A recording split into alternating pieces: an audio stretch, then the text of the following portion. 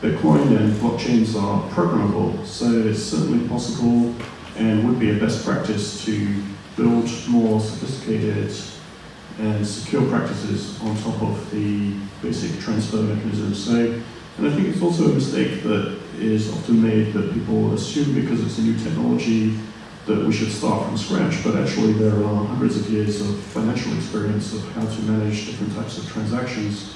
So for example, as an individual, if you're buying a house, you would typically use the services of a lawyer who would escrow the funds.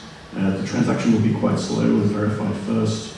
If, if the paperwork is not correct, the funds wouldn't be released.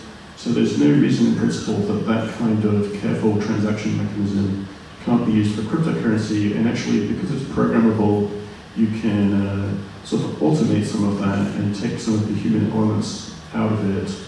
So, and again, re referring to existing frameworks for valuing, sort of for transacting and managing security transactions, I think Bitcoin is probably sort of similar to two, two broad classes of assets. So one is uh, physical gold. So when people are managing physical gold, if the physical gold is stolen, there's not much you can do to undo that transaction, sort of short of finding the person who's taken it. And another another similar asset type is is paper cash, so you know, or electronic money. So basically, Bitcoin sort of blends aspects of both of those, and but both of those systems interact with today's financial system in a in a regularized way. So you know you can uh, buy gold via an ETF wrapper, and there are people who provide and secure custody, so secure vaults to manage that. And so I think it's a, it's more of a technology uh, evolution question of uh, building more secure uh, storage mechanisms. So it's um, it's actually possible for you know the, the way that exchanges work today, Bitcoin exchanges, is actually not using the full advantage of the programmability of uh, Bitcoin and blockchains. So it's essentially just that everybody who wants to transact uh, wire transfers money to the exchange and deposits Bitcoin on the exchange, and the exchange has kind of it's, it's doing multiple business roles. It's being a custodian and it's being a trading platform. And so it's, it's possible to separate those, and that, that is the way it's done in conventional finance. There are companies specializing in physical custody or custody of electronic shares. And so I think we're starting to see more of that coming into the Bitcoin ecosystem with new established players uh, taking on custodian roles. And for example, in the US, the New York Stock Exchange has started a company called Bakkt, which is trying to provide custody and one-day settlement for physical Bitcoin.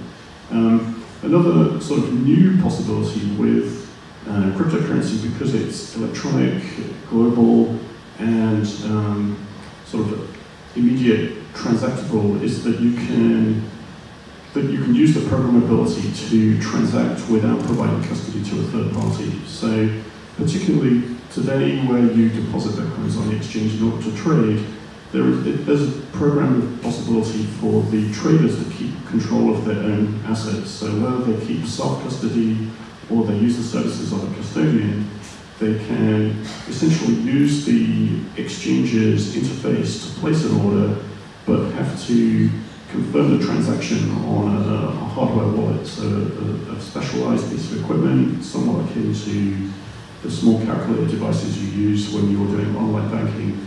So the keys for the crypto assets can remain in these kind of devices. Um, and in that way, you can place transaction orders on the exchange without having Bitcoins being in the custody of the exchange. And if we look at the failures, they've almost exclusively been custody failures on a part of the exchange. So I think you know we, we should see in uh, in the in the future uh, migration to a, a, model where the exchange manages the order book, matches interest to buy and sell, but doesn't have custody.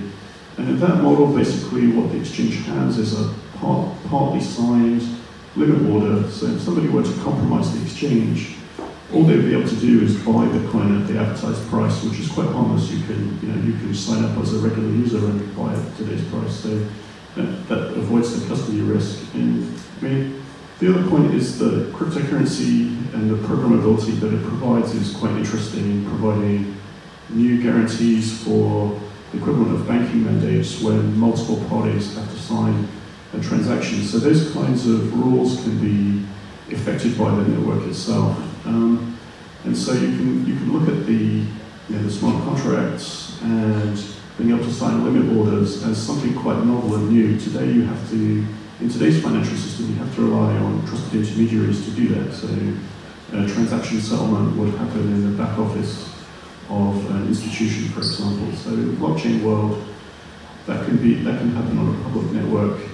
And you know, looking back at uh, to Guido mentioned some similarities with intranet versus internet. So I think that what uh, the blockchain innovation does is basically move from a, current financial infrastructure in a, in a networking sense of it being secured networks with insecure assets inside it. So the assets are essentially just uh, records in databases and backups of that information. So it, it moves that onto the open network by having cryptographically secured assets and I think you know the main gap today is that those features are not being used off, so people are not retaining direct control of private keys and keeping private keys offline and out of the custody of centralized bodies.